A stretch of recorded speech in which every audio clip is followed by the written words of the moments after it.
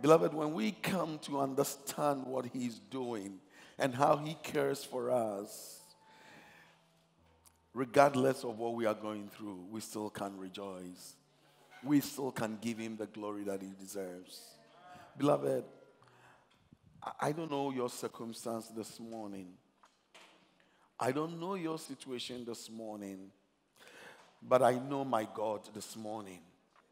I know that we serve a living God a God who cares for his children, a God who is willing and ready to come to your aid and to my aid. If we can count on him, if we can look up to him, he will show up and he will show us his glory. Amen. Amen. Beloved, Easter is gone, but the meaning of Easter is not gone anywhere. Hallelujah. We still remember that he died so that we can live. I said he died so that we can live. So we need to always remember had he not died, had he not made that sacrifice, I wouldn't be here this morning. There wouldn't be you here this morning. Amen. So we need to remember that Easter really, the death and resurrection of Jesus Christ means so much to the church and it defines who we are.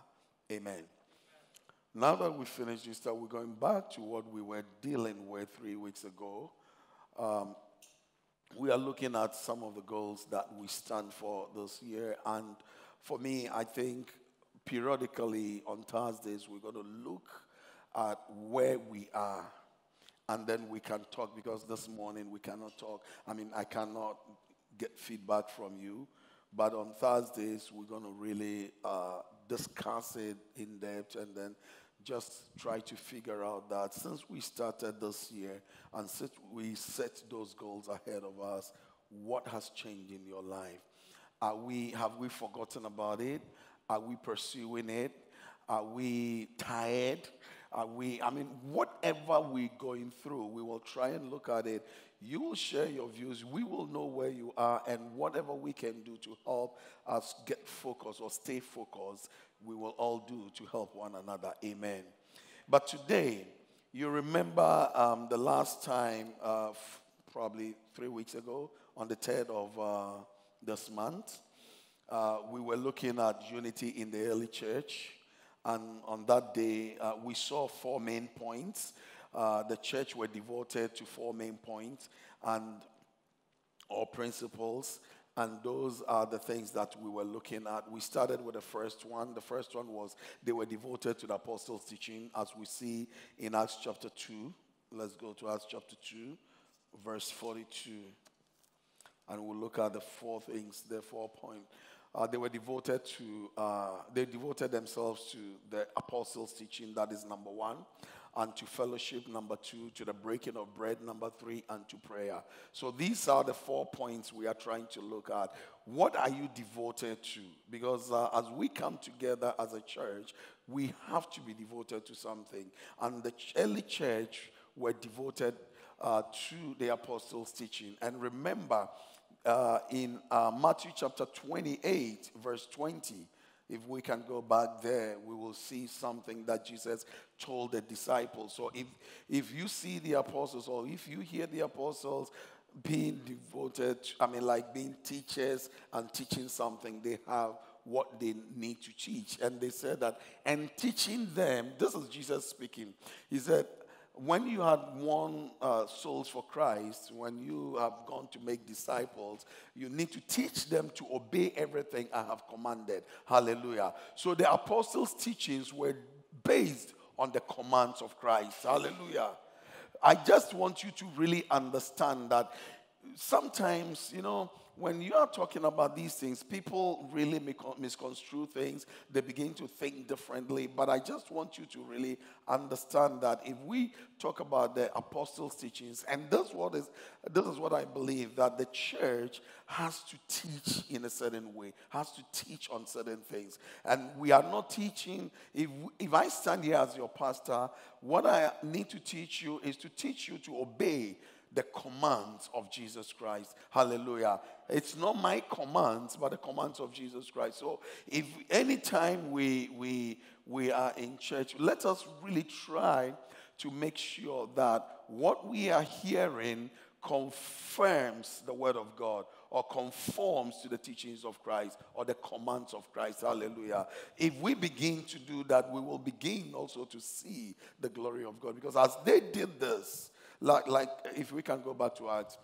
Uh, so I just wanted you to really understand the teachings uh, of the apostles. They, were de- they devoted themselves to the apostles' teaching. And the apostles' teachings were just simply the commands of Jesus Christ. Hallelujah.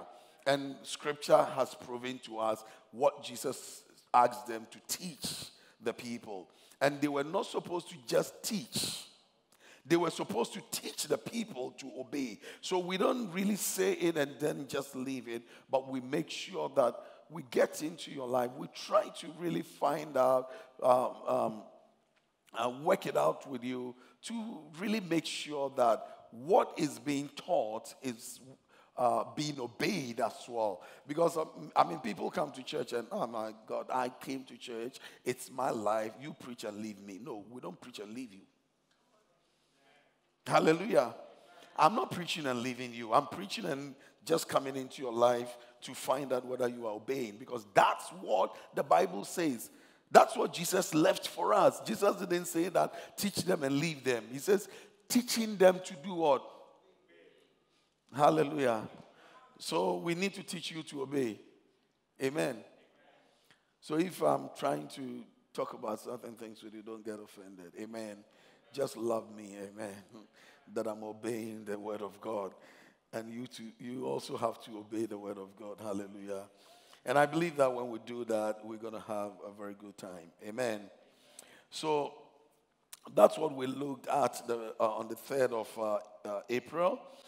And um, the other three are devote, they devoted themselves to fellowship, they devoted themselves to the breaking of bread, and they devoted themselves to prayer. Today, we're going to look at devotion to fellowship. We're going to look at devotion to fellowship. Hallelujah. If you look at the um, uh, that scripture, uh, the, uh, if you look at the King James Version, Acts chapter 2, verse 42, um, can you look at the King James Version? He says,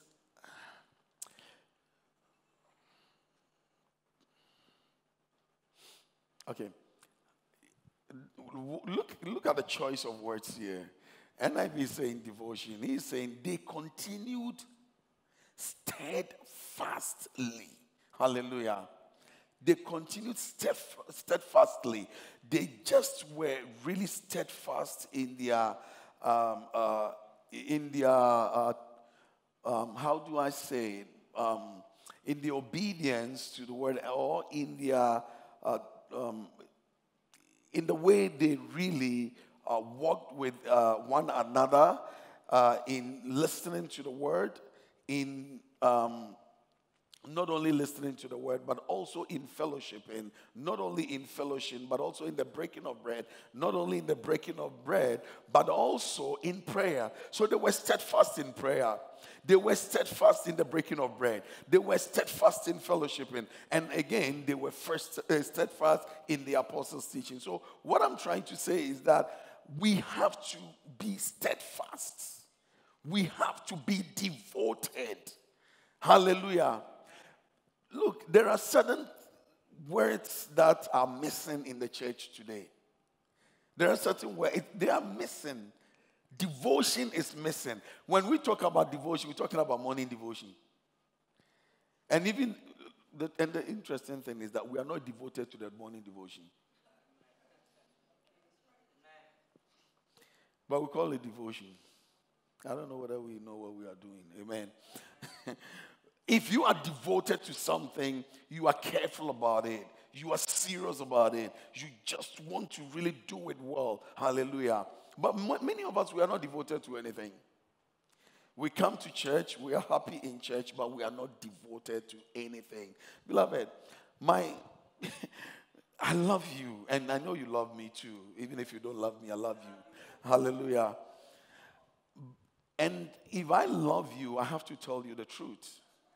And I need to really let you understand uh, that you ought to be prepared Christianity is not just about coming to church. It's about doing what God wants us to do as well. Bible makes us understand in James 1:22 and it's it's one of the, my my favorite scriptures in the Bible. It's a beautiful scripture. Hallelujah. He says we should do what we shouldn't merely listen to the word. Don't come to church, just listen to me and deceive yourself. But do what do what?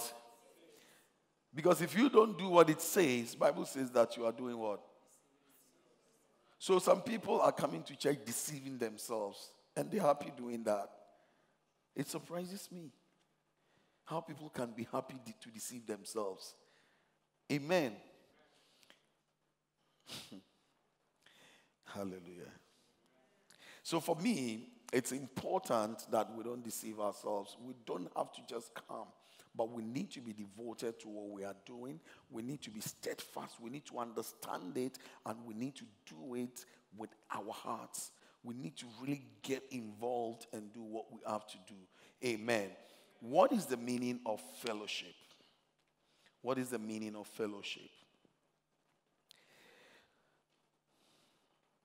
Um, the Open Dictionary says it's a close association of friends or equals sharing certain interests.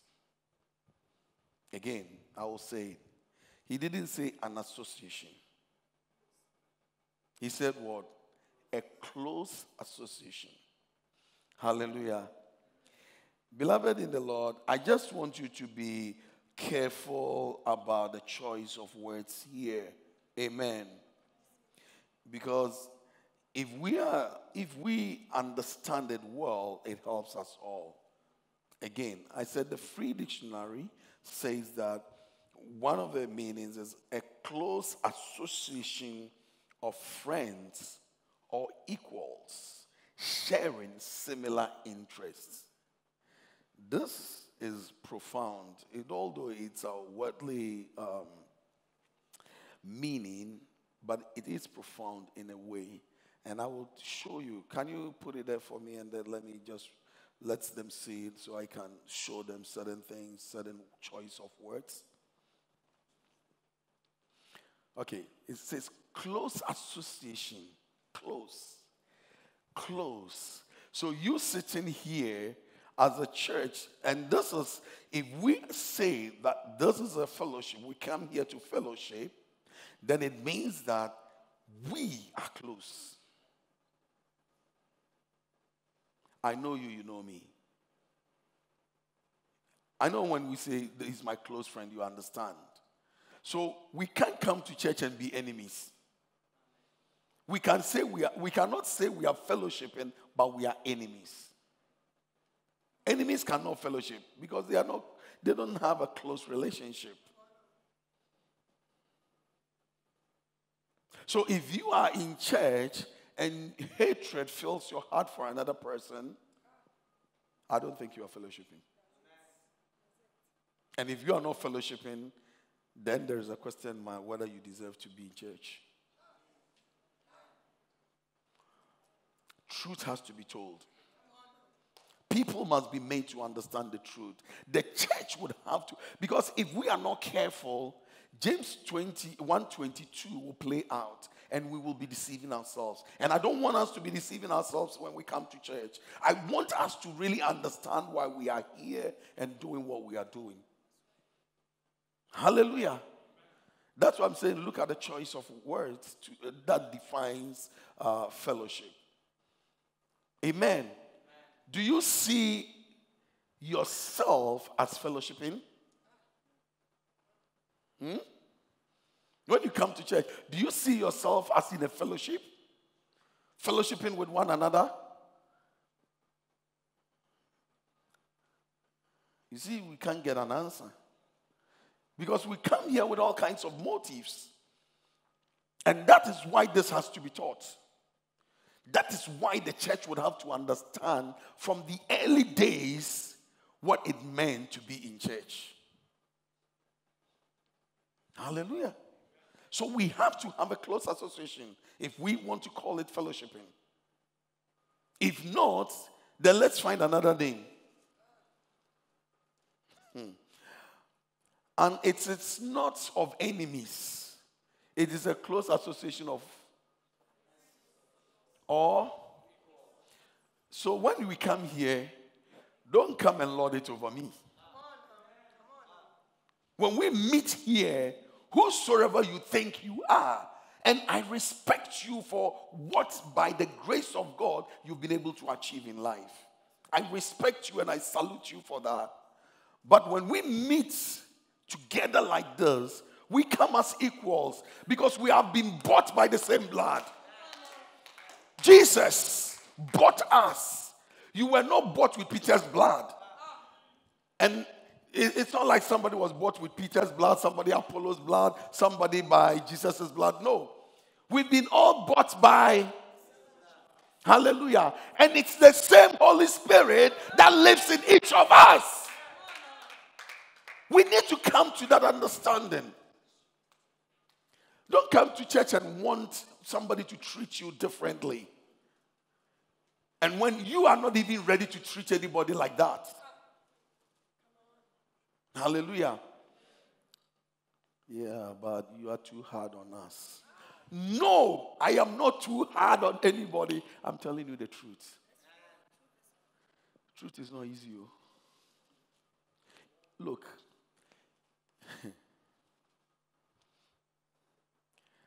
truth. Kings even don't understand truth. They don't. And they ask, What is truth? Hallelujah. Truth is not easy. But ye shall know. And the truth shall. Listen, if you understand this truth when you are coming to church, and your shoe is one, you don't care because you are equal to the next one who has a $10,000 shoe. It doesn't really matter. Hallelujah. What matters is who lives in me and the blood that purchased my life. That is what is important. So we come here as equals. Mm, of course, yes. Maybe, yeah, but me, I'm, I'm, I'm nothing. You are somebody in Christ. I said, You are who? Don't you remember the rich man and Lazarus? Who was in Abraham's bosom? Hallelujah. The point is that you can be Jairus. Jairus has a name. Amen. But you can also, somebody also can be the woman with a blood issue, even if she doesn't have a name. You didn't get the revelation. I said you can be Jairus. Jairus has a name. But somebody else can be the woman with the issue of blood. She doesn't have a name. But Jesus will pay equal attention. Jesus will pay equal attention. He's going to Jairus' house. And then Jairus has a name. But there is a woman who doesn't have a name. And he touches Jesus. And Jesus still stands and wastes time.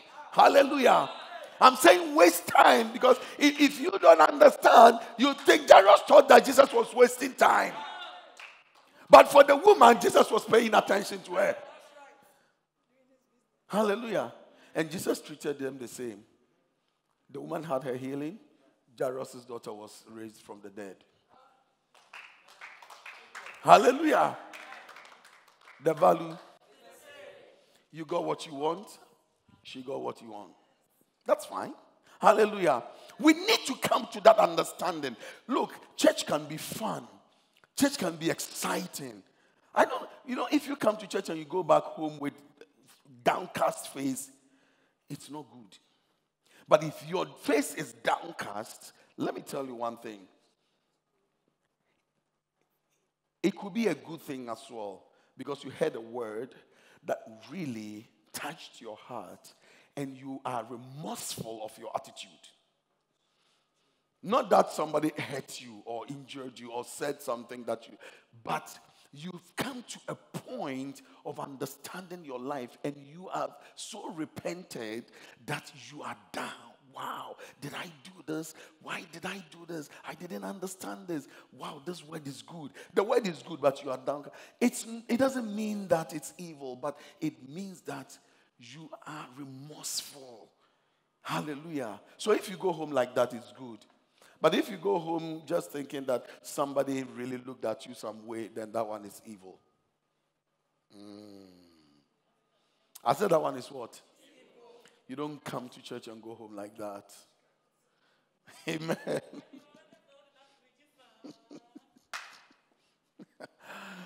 if even I preach about you, that's what you think, but I'm not preaching about anyone. I'm preaching the word of God.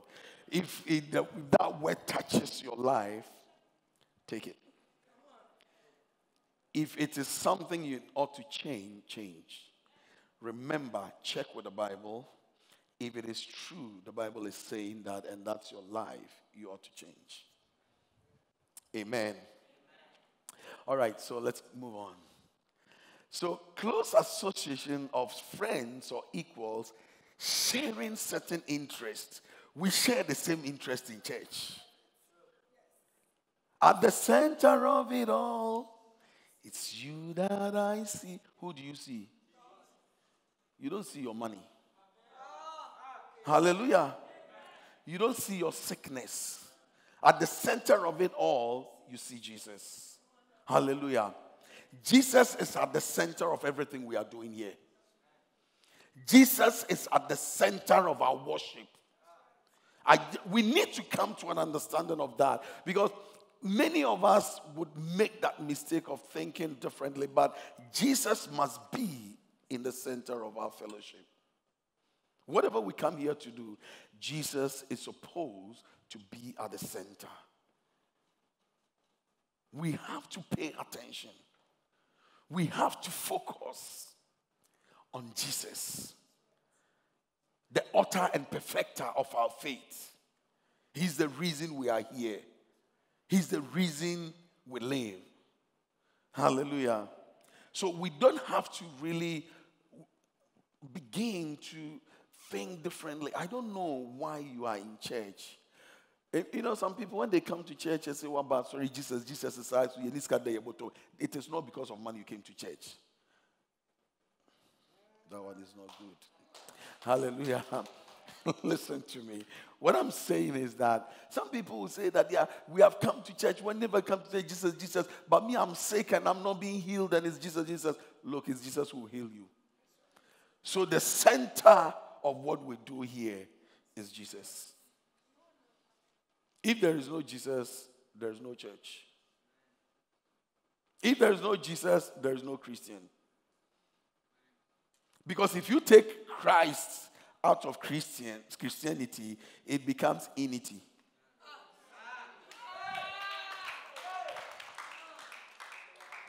It is only Christianity because Christ is part of it. If you take Christ out, it becomes I N I T Y. Unity. I didn't say unity. I said unity. and that's even not a word. Amen. I said, that's not even a word. So I want you to understand that you are a Christian because of Christ.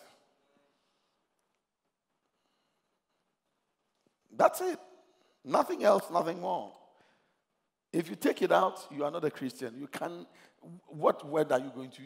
I mean, unity is not Christianity. It is something else. I don't even know what it is. Amen. Now, is this fellowshipping even important at all?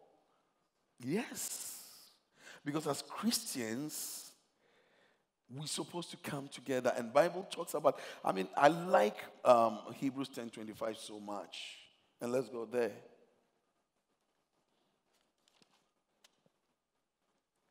Not giving up meeting together.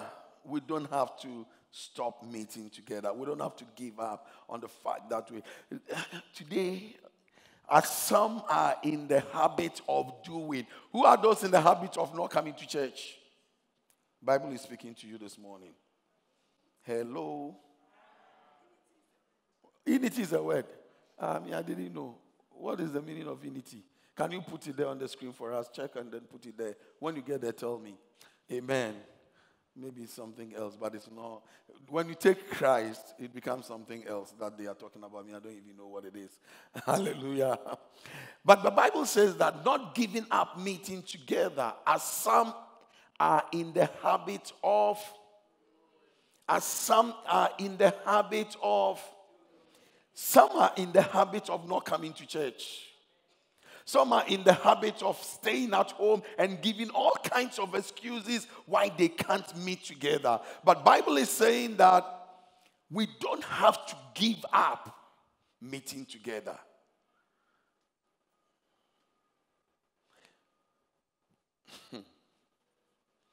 in the Bible, eh, you see that they were, as far as we don't meet, oh, do we meet? we, we don't meet at all. I'll show you in the Bible how they met. Amen. Are we here?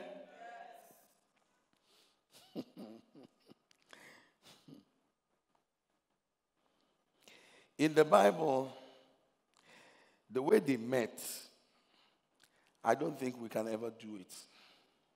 Hallelujah. Hallelujah. I know you don't like it, but that's it. Amen. Amen. Bible says that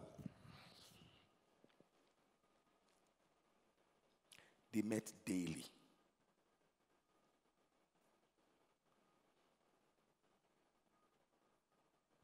They did what? Daily. What does daily means? Huh? Are you sure? Hmm? You said it means what? Huh? Some days. Ah.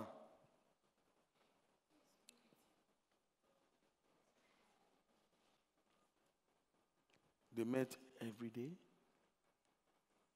Sure. So are you tired coming to church that your boss already do? But you want, you profess that you want the early church. You want to see the miracles. You want to see the power. They met every day. Can we come to church every day? Amen. Even some days is now difficult. No, let, us get this right. Do you want us to come to church every day?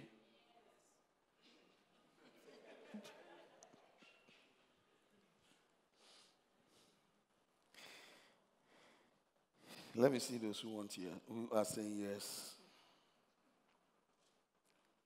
Hmm? How many? Somebody count for me. I don't want to count myself. They'll think that I'm doing something that is wrong. So, yeah, let me see. How many? Who counted?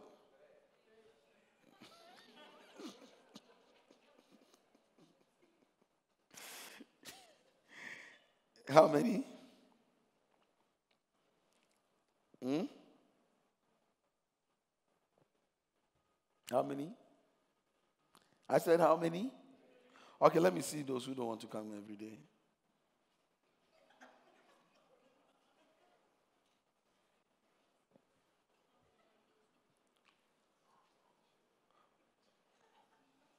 Nobody. Ah, we don't have neutral people in church, please. I say, either we are coming daily or we won't come daily. Let me see. Daily, once more. Those who want to come every day. One, two, three. Okay. Okay, four. Now we've got Who, who, who joined? Who just joined? It's from here. Okay, all right. It's from here. somebody says it's from here, somebody says from. Okay, but we have four people. Okay, so four people want us to meet daily. Okay, that's good. Who are those who don't want us to meet daily? One, two, three, four, five, six. But what about the rest?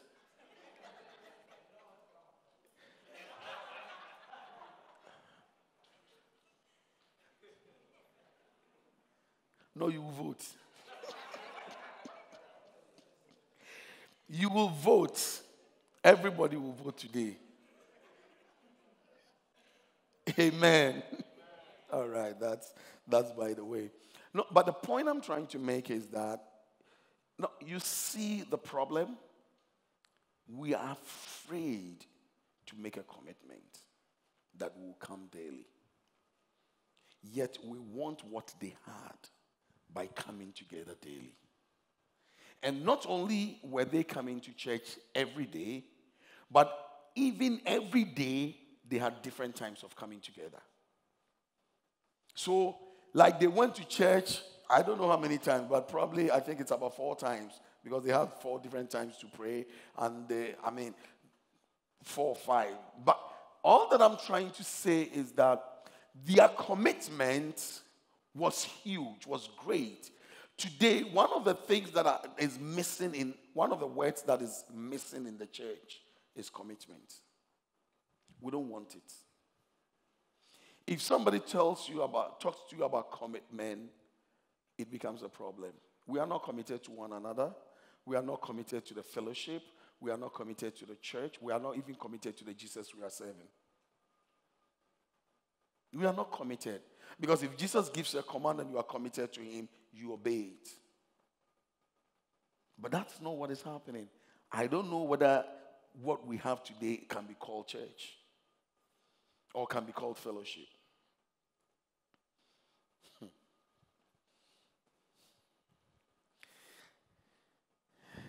I know I'm touching on certain things.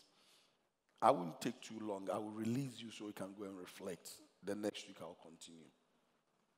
The reason I'm saying that is that I know there's, there's deep thoughts going on in us. I'm trying to get you to really understand certain things you don't understand. If you understand what I'm talking about, your attitude in church will change.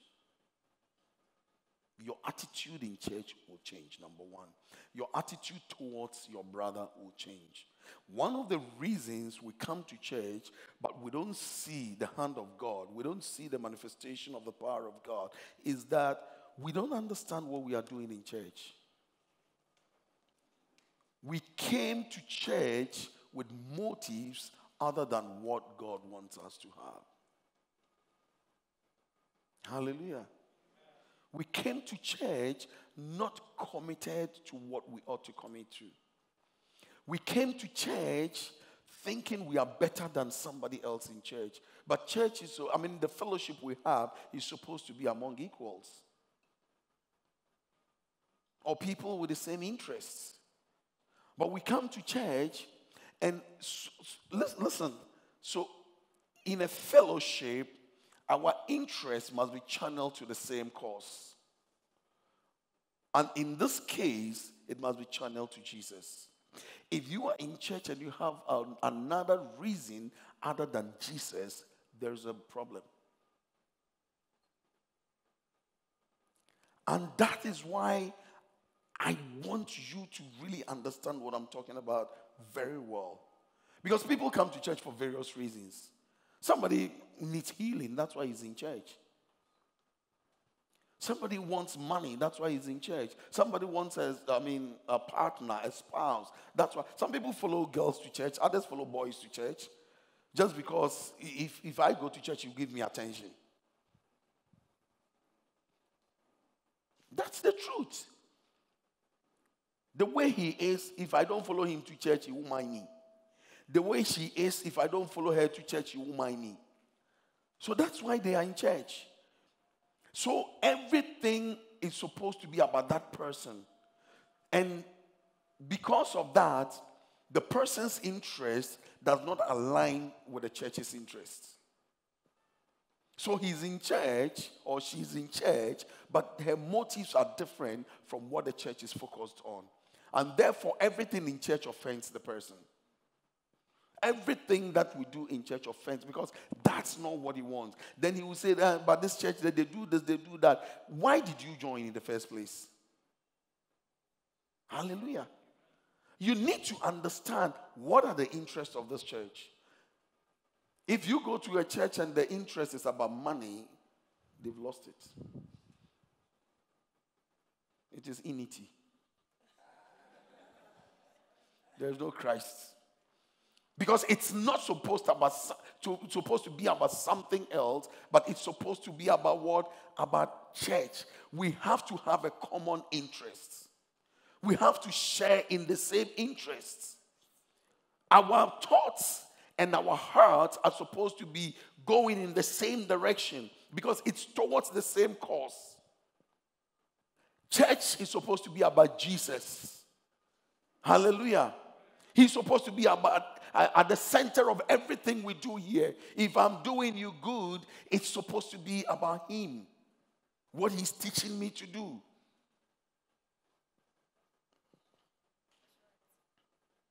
Are we here? I just want you to really understand. Because if we get this foundation right, we're going to build a church that is very solid, built on a solid rock, Christ Himself. Hallelujah. Look, there are people in church. Listen to me carefully. Please don't hear what I didn't say. Don't read meanings into it and hear what I didn't say. Listen to me. There are people in church, they think some people in church are fools. Amen. For the simple reason that this man did good based on the principle of Christ and the love that has filled his or her, I mean, his heart.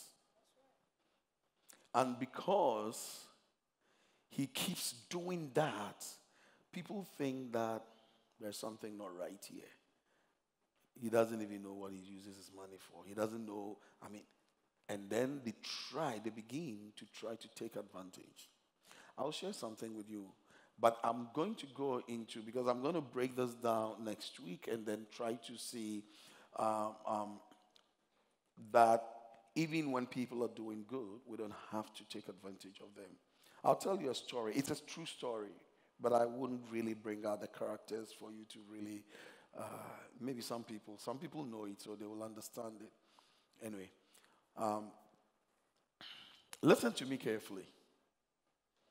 I just want you to listen to me carefully. Come.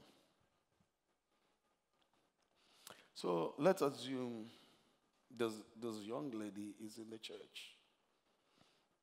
And I want you to understand, I'm talking about the true story that happened. And she goes and then fornicates and have a child. But he's tricking the church that it's a mistake and the person didn't accept and everything. I, I want you to really understand this and understand it very well. And see that people have the heart to do good, but don't take advantage of them. So she, she says that, and she begins to get help here and there. And then she gets a major problem where she lives. She's ejected, doesn't even tell anyone. Come. You stand here. And then you are not married. I want somebody that is married and the wife is here. Because if I use you, somebody will think differently. Uh, Reggie, where is he? Karen and Reggie, come. Go and sit down. Because I want people that are married so that you understand. No, pass here. Come this way. Because your house is here. Amen. All right, so these, this is a couple so that you understand it well. You don't think that Reggie is doing something wrong or Kakra is doing something wrong. so this girl now says that she's been ejected. But anyway, I mean, let's assume she has a child. And then this one hires a car, a truck, puts all her things in, and then comes here. And then when he gets like probably 200 meters to your house, stops and call you that I've been ejected. And I don't know what I have to do. She calls Karen. And Karen tells Reggie, oh, look, okay, what can we do? Okay, uh, okay, okay, okay, right, okay. And she's already by your house. Oh. And she didn't tell you anything. And she says that the landlord has rejected her. So Karen speaks to Reggie. Reggie accepts that let's help her. But unfortunately, they don't have a place. So Karen has a friend. Amen. Oh, now one person sorry, sorry, brah. For glasses and bra. So Karen calls this uh, friend, and she, this she knows this friend has uh, houses. So she calls, Oh, I mean, I have this challenge. And she says, I'm ready to help. So she has a f- fully furnished house, three bedroom house, and she says, I'll keep her there until such a time that she we find a place that like Karen find a place for her. So she she says, fine. And then they realize the car is even parked around their house. Lo and behold, she comes with the key and everything, and then you take her to the house, offloads everything. And then this woman goes to buy food and everything because it was late as well, just to keep, and she has a baby as well, just to keep them safe. So she buy baby food, buy adult food and everything, and provides for this young woman. Then Karen and Reggie go home to sleep. But this woman is still going around trying to see what she needs and how she can be comfortable and everything. So she comes, and the girl. But then suddenly, I don't know by what means, she finds out she's chatting with the baby's father. And she said she doesn't have food and everything. There's a big fridge in the house.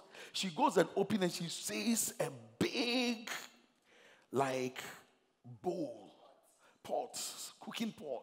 She opens it because she knows she doesn't have that in the fridge. So she was shocked. And then Elizabeth opens it and it's peanut soup. You know peanut soup? And the fish, and, and the meat and the fish in it was more than the soup itself. So now she begins to think, what's going on? Is she as poor as she think she said? Does she need help as she said? So she begins to interview her and begins to know that. And she's seeing tears that the guy is giving her money. I mean, it's basically everything she said was a lie. So this one calls Karen and says that I can only keep her here for tonight. Tomorrow morning, she has to go to the uh, baby's father.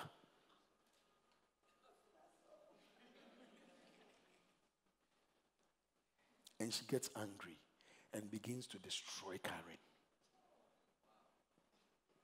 Say all kinds of things about Karen because she's in the same church with Karen. And the church people don't know what has happened. So she goes around telling people in the church how bad Karen is.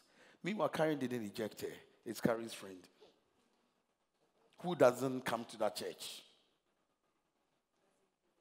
doesn't know anything.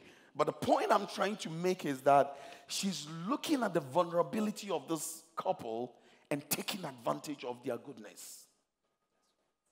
And because Jesus is not a liar, it blows up in her face. And she's not even willing to accept, but rather begins to destroy this woman. And it looks like this woman, she takes this woman for a fool, and everybody else who hears the story is speaking about this woman that she's a bad woman.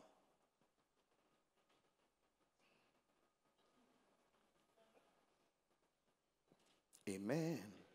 You see how quiet the place is? But is that what Jesus taught us? What about if this affects this woman to such an extent that she decides not to do good to anybody again?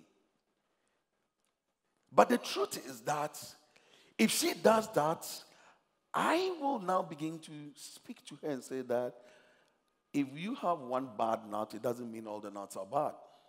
So you can't do that. As a pastor, I have to let her.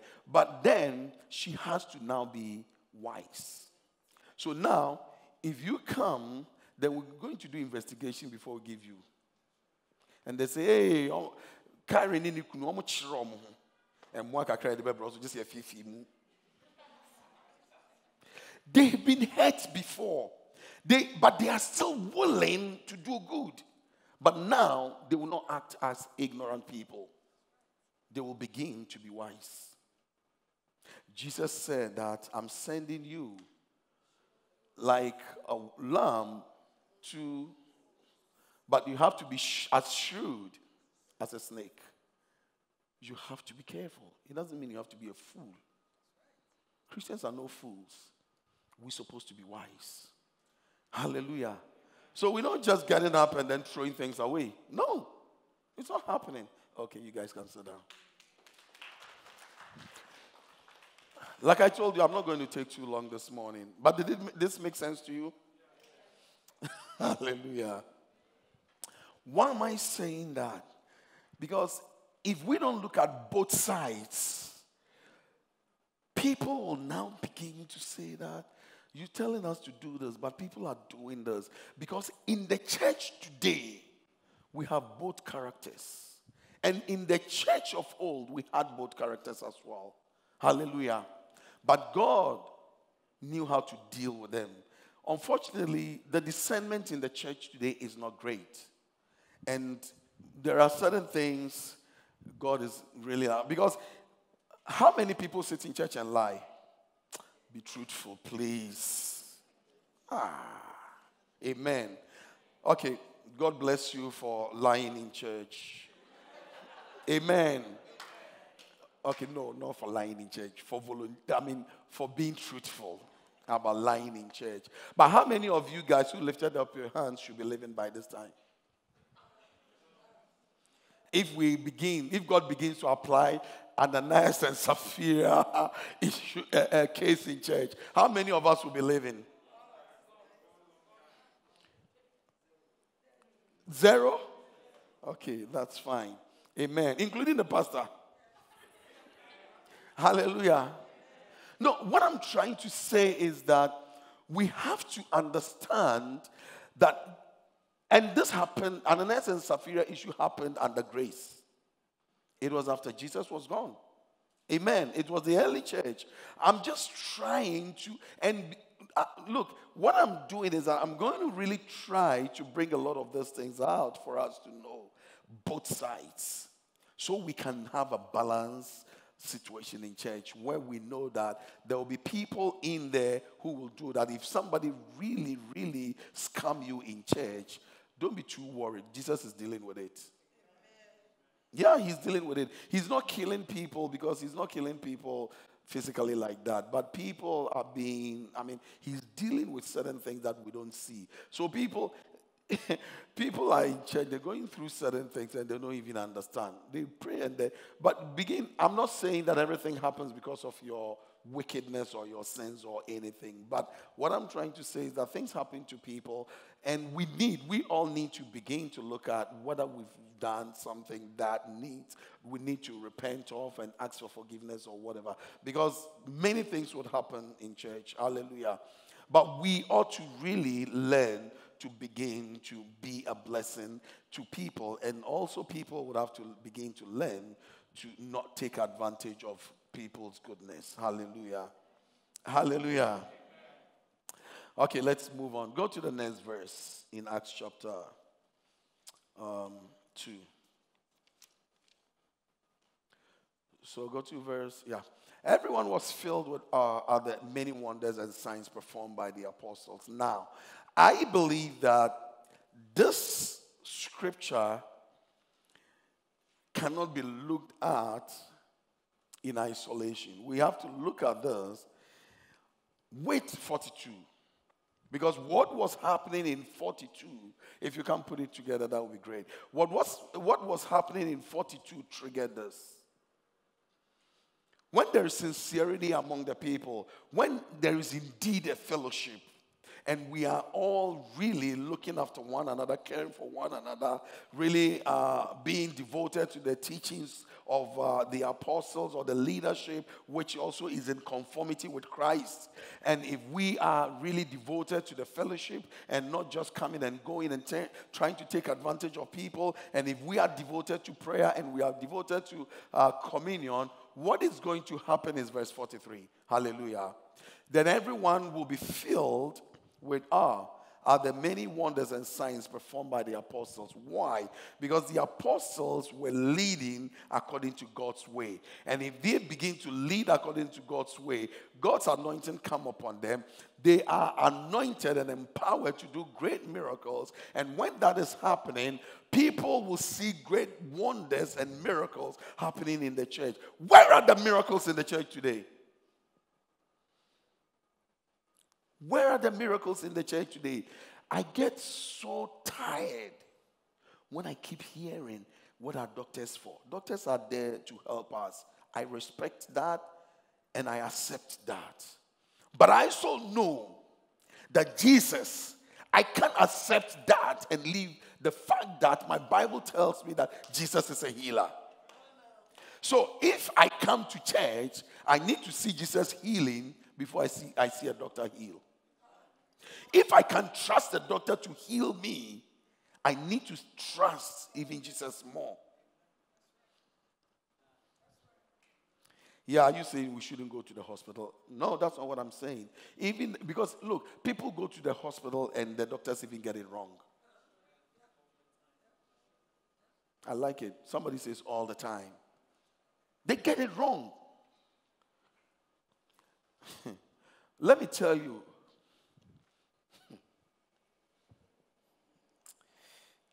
this one is not, I won't say it. because the doctors will take me on. But maybe I can say it.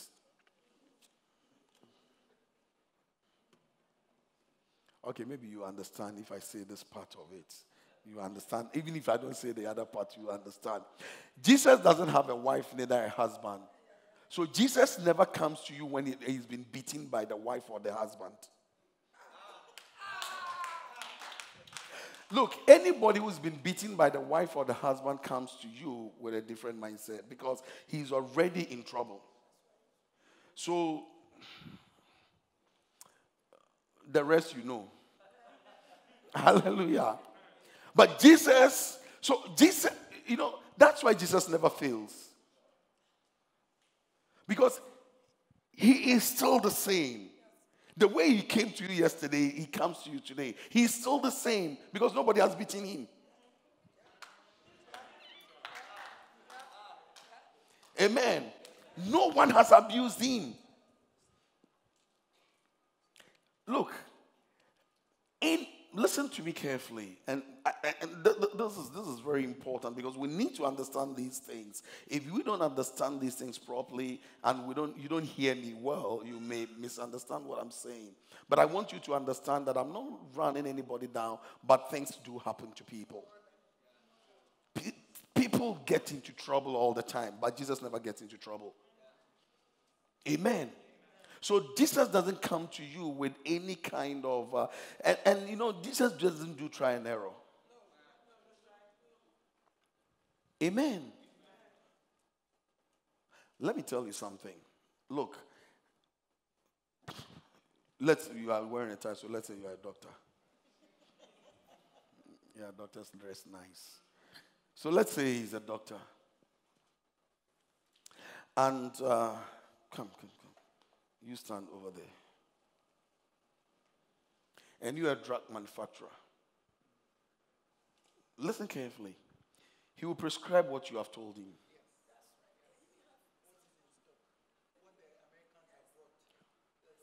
He, we will just exactly forget even about that.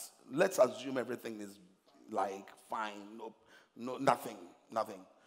He definitely didn't manufacture that drug. So he's telling me uh, as a patient what you told him.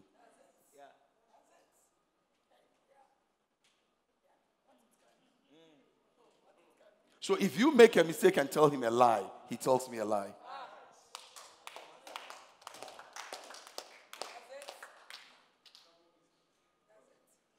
Amen. But we know that now I'm converting you. You are now a pastor. And she's Jesus. Yeah, why? I mean, we know that Jesus, God created her in his own image. So, me, I don't know. I mean, but he's the image of Christ. Yeah. Because Christ is the image of the invisible God.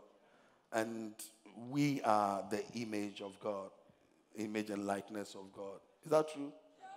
Okay, so she is she can be Jesus. Okay, all right. So um, don't tell me he's not a woman. Whatever Jesus was, that's not my, my, my point this morning. so, this is a pastor, and he's telling you what Jesus has said. But Jesus is not a pharma, uh, uh, drug manufacturer who can get it wrong. He never gets it wrong.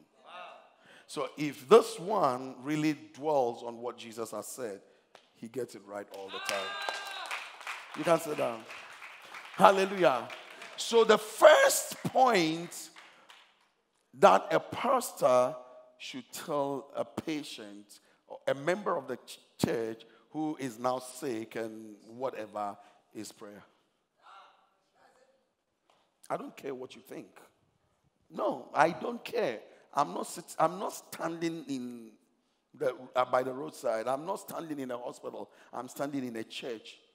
I first promote Jesus before I promote any doctor. Hallelujah. My first person, the first person I need to promote is not a doctor, but Jesus.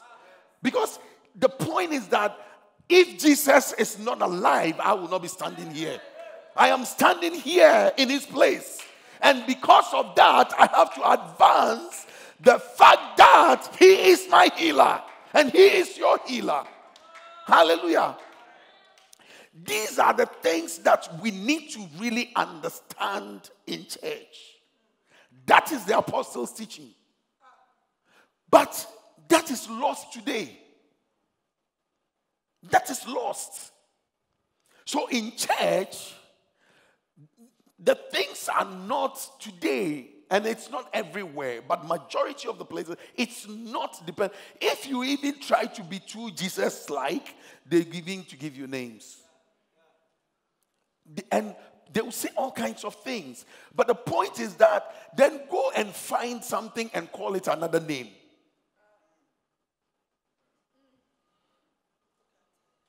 You need to call it another name. Because if you give it the name and you, you, you begin to lift up Jesus in the place, when you lift up Jesus, he has to do something.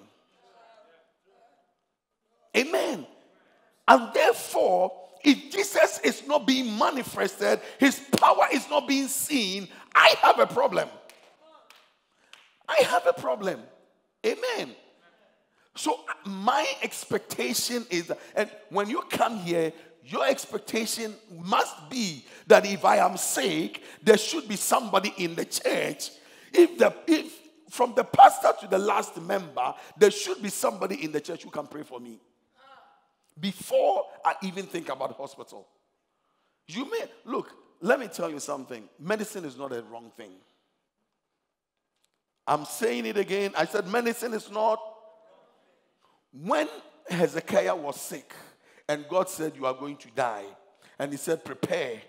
And Isaiah went to tell him. The prophet, you know, when the prophet left and he went to, Hezekiah went to pray, when the when God told the prophet to go back, he said he should prepare something and put on the boil. Hallelujah. So the point is that Jesus can teach the doctor to prepare something and put on it, and then you'll be well. Amen. So it's I'm not saying that doctors are wrong, but it must come from Jesus. Hallelujah. So if I pray, he will send me to the right doctor. He will send me to a doctor who's going to. Anyway. Hallelujah. They take them to court every day. Hallelujah.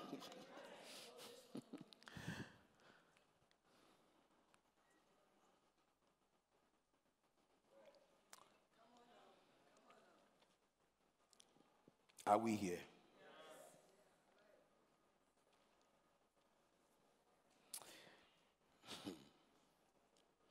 I'm trying to really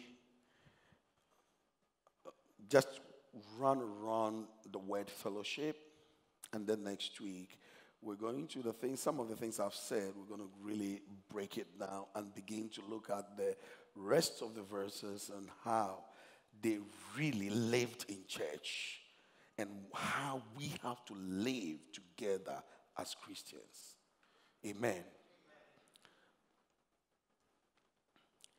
There's a Bible scholar called David Guzik, and he has a comment, and he, he says this. He said, The word that is translated as fellowship is, uh, is, called, is the word koinonia,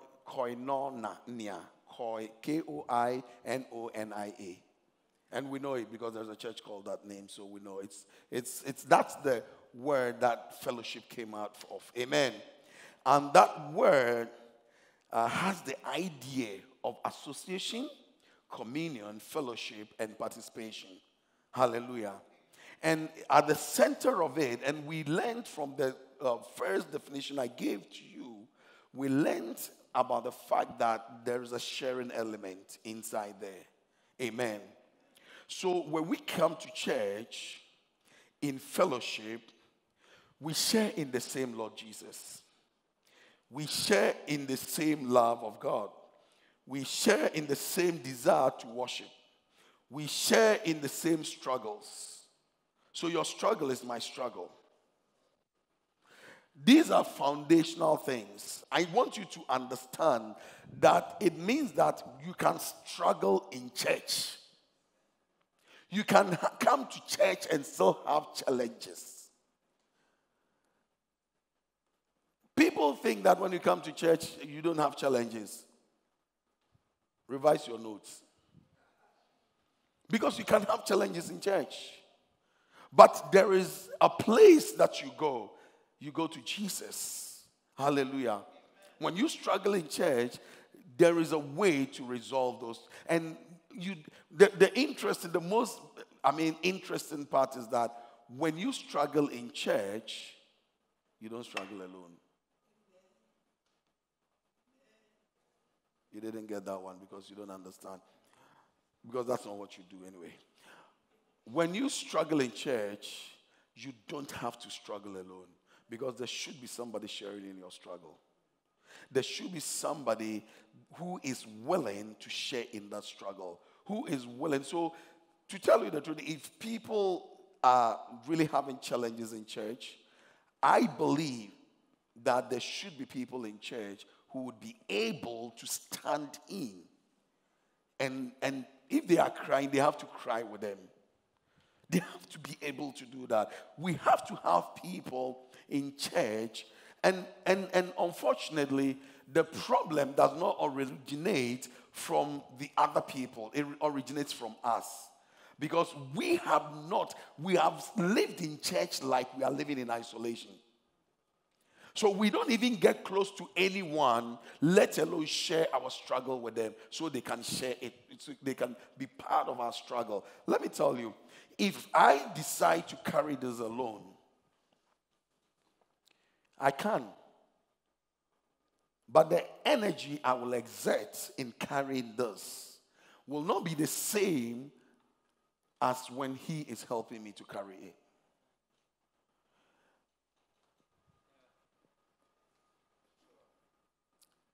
So I will carry it if I want to carry it alone. But if Dede decides to help me carry this one, he will take part of the burden and I will take part of the burden. And I, I don't get the, I will not be worried the same level that if, uh, if I was carrying it all by myself. Somebody should be there to carry part of my struggle. Someone has to be there. So if you are in church and you are carrying your struggle alone, it's because you want to carry it all alone. Because there should be somebody. But it has to start from a place. You don't have to wait until you get a struggle before you begin to share with other people, before you begin to relate to other people, before you begin to really uh, um, um, be friends with other people. You don't have to wait. You have to really, as soon as you come to church, you need to begin to have that kind of mindset and begin to relate to people. The church can be a better place than it is now if we begin to understand these basic things. And if we understand them and we begin to really run with them, we begin to think differently. When we come to church, I am coming to somebody who is my equal, somebody who I can really talk to, somebody who I can really hang out with. I don't see anybody, and that's not disrespect. Please, I want you to understand that it is not disrespect because listen to me. The Bible makes, you know, these are all stuff in the Bible. And I will show you some of them uh, and the, bring out the scriptures to you uh, next week. Bible says that if, for example, I am a slave and you are not a slave, you are my master, but you are in church and I get repented and I accept Christ and come to church, I we we become equal. Yet I'm still your slave in a way. So when I come home, I should serve you even better than I used to serve you at first. But what happens? We begin to take advantage. So Christians can employ Christians now. Because they come to your business and they mess it up. And if you talk about it, they go and destroy you at church.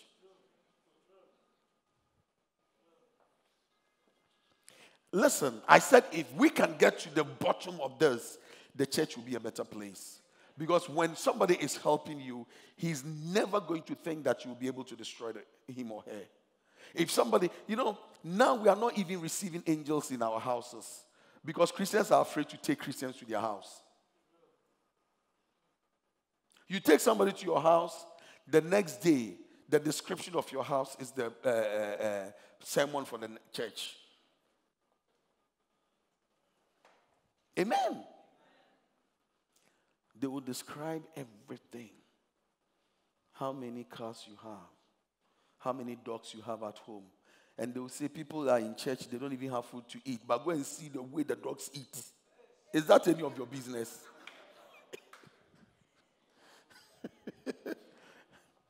Is that any of your business? Did you, are you, are, are you, do you, uh, uh, uh, uh, your friends, uh, uh, BNI, your friends, is here? Whatever. Okay, me, I'm old, so BNI still. You come to my house and now you become BNI. You are coming to investigate me, see everything, and then now you come and you put it on the notice board. So people are afraid to take people to their homes. Not because they are wicked people, but they just want to be careful. So, you know the problem now? So, hospitality has become a big problem in the church today. People are not being hospitable. And, the, you know, it is hospitality that made Abraham receive angel in his house. In fact, actually, it's God himself that came. Amen. Because Bible says that when he saw him afar, he went to bring him.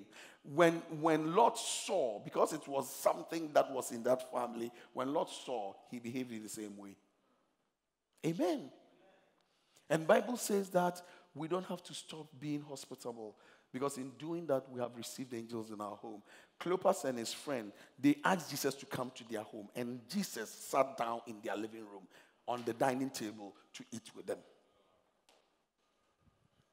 after resurrection. They were one of the very first people. In fact, they were the first people Jesus hung out with for a longer period when he came out of the grave. Before he met even the disciples, and he really walked with them. The journey was seven miles. I don't know at which point Jesus met them, but looking at the conversation, it was a long conversation. So it means that it was a long journey, probably half of the journey. So Jesus walked with them for three and a half miles. Walking for three and a half miles is not 10 minutes, it's more than that.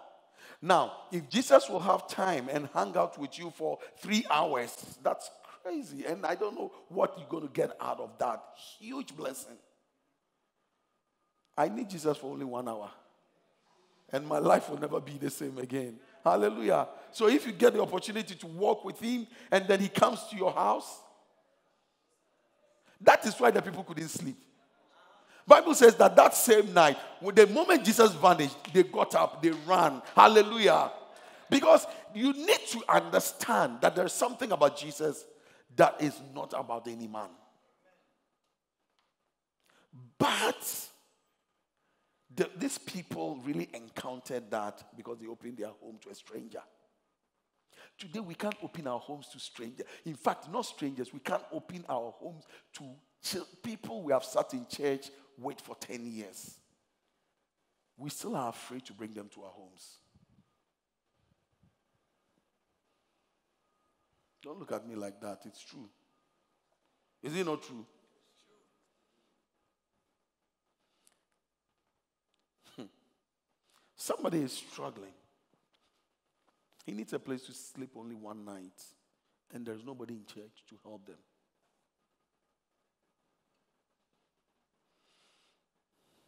Because somebody helps and then you see what happened. He's lying, just trying to take advantage, just trying to mess up. And then when truth catches up with them, they begin to destroy. I'm done. Hallelujah. This is just, you don't have to, if you want details, I mean, we're going to go into scripture to look at even what I just said, even when Jesus spoke about sharing. You know how Jesus really did with sharing and all that? We're going to really, because when Jesus saw the people hungry, he didn't send them away. If church see people hungry, we don't have to send them away. We need to begin to feed the people. It doesn't mean that we have to every Sunday be feeding people. That's not what Jesus did. If I'm feeding you, I'm teaching you how to also make money so that you can really save your own money. You can really manage your money in such a way that you will not be hungry every Sunday and will be looking for somebody to feed you. Hallelujah. Because if the church begins to feed people and like the same person they feeding every Sunday and not getting the person to really manage his own life in such a way that the person will be weaned off that and he will be a willing Christian who is going to help other people. That is not Christianity. That is not Christianity because we have been called to call others. So we've been, if we are being fed today by someone, we have to be trained to earn enough to be able to help somebody tomorrow. We don't have to be people that people are helping every day. If you sit in church and for 10 years, then there's a problem. Hallelujah. But you see, people, and, and when you do that in church, because, and I, I still believe that we haven't taught it that well. And because we haven't taught it that well, what happens is that people don't understand and they think that every day you have to give them something, every day. So one day you don't give them, they think you're a bad person. No, it shouldn't be that. If you are taught the person, and when you begin to teach them to, so we've made church so tough. But as, as, as leaders, we need to begin to get to the bottom of this. And when we get to the bottom of this, it's just like somebody comes to Christ and then he, he never wants to grow so that he also do evangelism. You know, people are like that. They don't want to grow to do anything. So they come to church, they warm the seat, they get up, they go. So people come, they want, every day they want somebody to bless them. When are you going to bless somebody? When will you be? Bible says that a church gave, the church in Macedonia, they gave out of their poverty. So, so everybody has something to give. Hallelujah. Look, if you don't, some people say, hey, but me, I don't have anything. They call you and tell you, I don't have anything. If you stop buying the credit, you have something. Hallelujah. If you had stopped buying the credit, the credit that you used to call me to tell me that you don't have anything, but you had credit. How did you get it? You bought it with what? So why are you telling me you don't have anything? You had something, but you used it wrongly. If you don't have food to eat, why do you go and buy credit?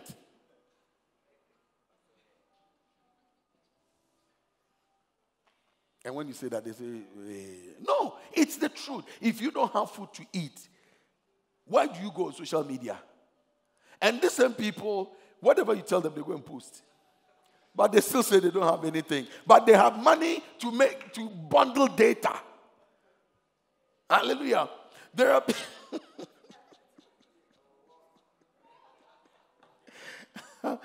Look, I'm saying that we're going to have fun next week. These are the basics of Christianity, basis of fellowshipping. But we need to really talk about it so that people can understand that some people are not wicked. As long as, so if, if you see, as, listen to me carefully. I'm not saying that if somebody says that I don't have anything, go and look at his status and then find out what he does. Hallelujah. I'm, I'm, not saying do that and then say you bought credit so you don't need anything. No, there are, there are some genuine cases maybe. So I, I just, next week we'll look in depth and then we'll try to really see. I want you to be a better Christian. I want you to be, I don't want you to really sit in church and still really not understand because many of us don't understand what I'm talking about. So, you know, some people, I can see some people, they are now saying that, oh, I've been wrong all the while. Yes, of course, you've been wrong because the way you've been thinking is not God like, it's not Christ like. Hallelujah. And I want you to understand it properly. If you come to church, we are here because of Jesus. And if we are here because of Jesus, then we're going to obey what Jesus is going to teach us or Jesus is teaching us to do. Hallelujah. And that really entails a lot. And church must understand it. If we really understand this and we begin to do it well, you will realize that you come to church with joy. When Bible says that I was glad when they said unto me, you tell people that and say you don't know what you are talking about. We know what we're talking about, but you don't understand what we are talking about. But we also have a problem because we haven't told you why it is so. Because if you understand these things, when you are coming to church, you don't come with sorrow. Even if you are sad, you know somebody is going to really carry the sadness with you. Even if you are worried and troubled, you know somebody is willing and ready to carry that burden with you. In the same way, if you are enjoying, you know that somebody is going to really be in church that is ready to share in that enjoyment. So if I'm going to share your sorrow with you, I need to share some of your money too. I need to enjoy some of your money. Hallelujah. It's not only when you are in trouble that you want me to share. When you get when you get money, you don't want to share with anybody. Hallelujah. When you you see some people, the people that really they share their sorrow with, when they get money, they become their enemies. Because they remind them, hey, So they become enemies. Now they have something in their pocket. They don't want even to talk to them. They have new friends. Amen. But understand that in church, we are one. Hallelujah.